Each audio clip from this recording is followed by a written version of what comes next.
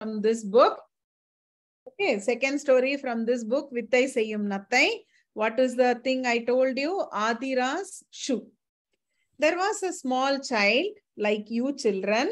This girl's name was Athira. So Athira had a very nice, cute little cat. So you know cat, right? Meow, meow, meow. Cat, you know. Yes, yes, meow. Sound like meow. Okay. Uh, yeah. Okay. I will. I will say the story within ten minutes. We have to finish. We talked a lot for the last story. That's very good. So Athira and the little cat, they love to play with each other. Even the cat liked Athira very much. And one day, when the parents uh, came from office, Athira was searching for something. Athira was searching for something.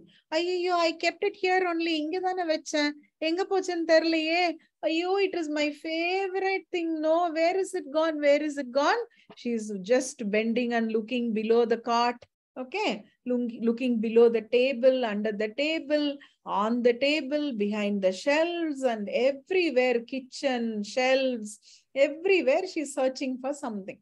So his parents came and asked what is what happened? What are you searching for? Why are you very sad upset?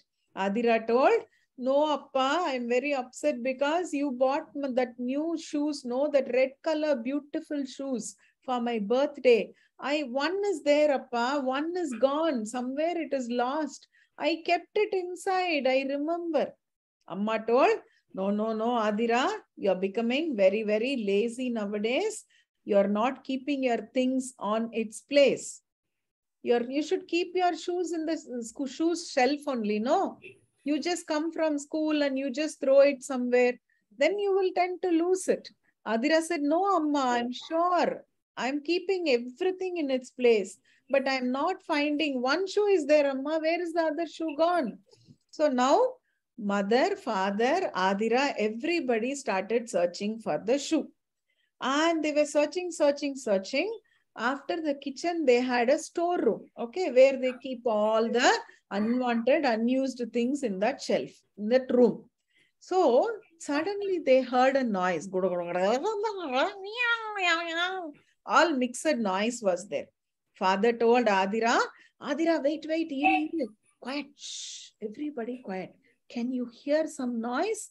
Looks like the cat meow noise is also coming with that maybe something is happening there we'll go and see when they went to that storeroom and saw you know they found both the cat and the shoe the shoe has a string no the shoelace will be there right thread will be there to tie the shoe so the cat has taken one shoe எடுத்துட்டு போய் kept it in the storeroom Okay, because storeroom is a very warm place. It's a dark place.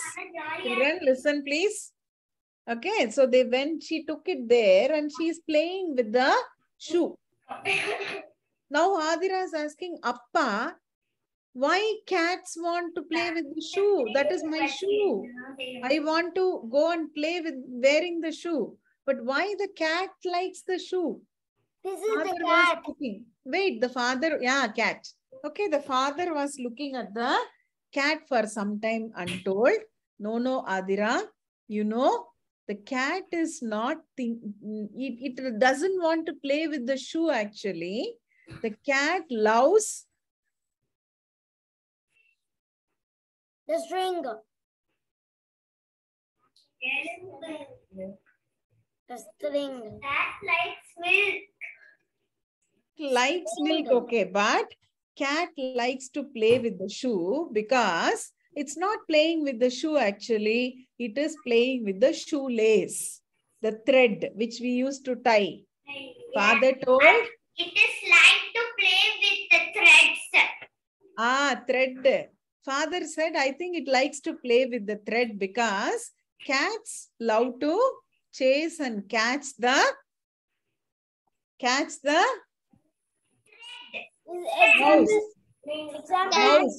Mouse.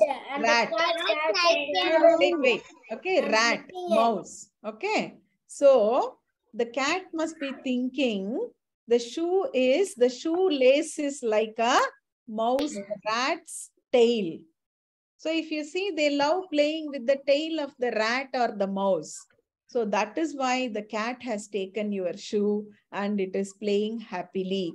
So his father went and took the shoe from the cat and he kept both the shoes on the shelf. Again, after some time, the cat slowly came and has grabbed one shoe and she has taken it and kept it in the in a place and it started playing biting the shoelace. If the shoelace is bitten, it will tear, no? So then you can't use the shoe. Athira was looking for an idea and she immediately found one nice small little mouse toy was there with a long tail. So she just remembered when she was small, she used to play. Okay, for me, Anusha has gifted this. For Athira, her friend has gifted. So she went and took that mouse with the long tail and that she came and gave it to the cat and she pulled the, took the shoe away. And now the cat is thinking, cat just wants to play with the mouse, no? The rat and the mouse. So the tail, long tail, the cat is very happy. Nowadays, the cat does not come and take Athira's shoe, but it is happy playing with the tail of the toy mouse. So that is the another strategy this is the idea played by. Athira. Wait, Vian, Vian, Vian, wait, Vian, wait, wait. One second, wait. Let me finish the story, okay? One second. So- One. One second means one minute means 10 minutes. So this was the story of Athira's shoe, both written by Kannikovil Raja uncle. Okay, so we So thank this is the example. for This wait is the mouse string and this cat is playing. Okay, no wait. This my my picture has become like a ghost.